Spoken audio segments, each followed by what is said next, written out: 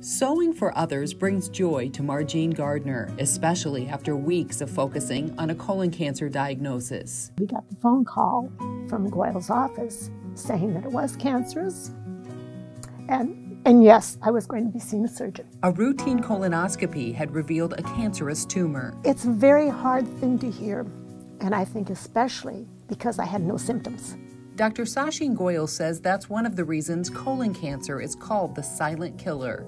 It doesn't give any signs or symptoms until it is very advanced. Thankfully, Margean's screening colonoscopy detected early stage cancer. Her tumor was surgically removed and she's now cancer free. The most important thing is if you had a colonoscopy or a screening test done once, that does not mean that you don't need it again. You should stick to the interval given to you by your healthcare provider. It is a silent killer, and so get it done. For more information, visit mercycare.org.